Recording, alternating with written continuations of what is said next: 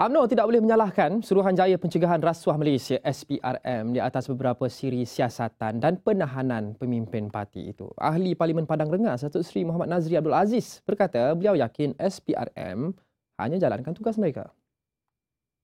Apa yang SPRM lakukan uh, itu kalau kita menghormati tentang uh, kebebasan SPRM kan. Uh, apa yang dia buat tu kita kena terima lah dan kita janganlah kait uh, soal kata uh, ada uh, orang kata apa uh, di sebaliknya sesuatu. Pada saya apa yang SPRM buat itu kita kena hormati.